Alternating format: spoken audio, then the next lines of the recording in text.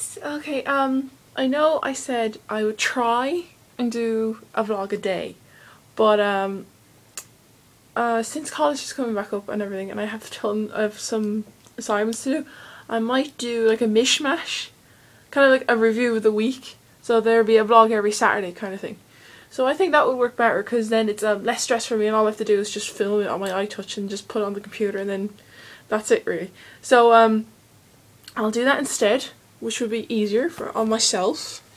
And um, so I'm just heading out now to lunch. So um, I will leave it there and just it's just a quick little thing just to tell you guys that I'm having a vlog a week instead of vlog a day because I was there for ages just editing the one that, that I just put up the day one one.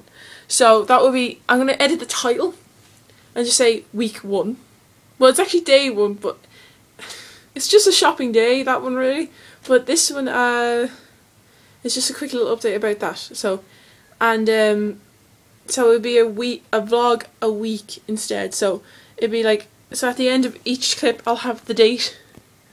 Like the way I said, 25th of, um, February on the other one. Sorry, I'm hungry, so I don't, I can't remember how to talk if I'm hungry. So yeah, I'll do that instead, which would be easier. So I'll leave it there and um, I'll see you guys later. Bye!